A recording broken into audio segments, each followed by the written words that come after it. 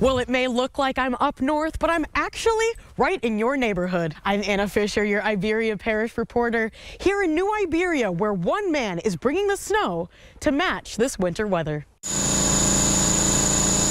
And we figured we'd try it, and we made it. Max Sorrel has lived in Acadiana all his life. Last year, they were going to make some fake snow. Sorrel's son Nicholas says his dad has always been a handyman.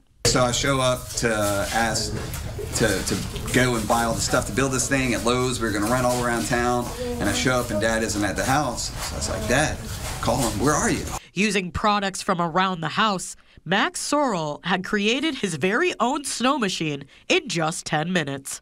You have a high pressure, a pressure washer. I couldn't think, and I had an air compressor, so it would mist up with the uh, water and do a chemical reaction, and there you go. It had to be at least 26 degrees or lower for you to make the snow. Sorrel says the inspiration came from one woman. So it started because my wife was ill. Vicky Sorrel battled bladder cancer for two years. It got to a point where, you know, they couldn't do anything. So we just wanted to make her comfortable, and we made the fantastic Christmas last year.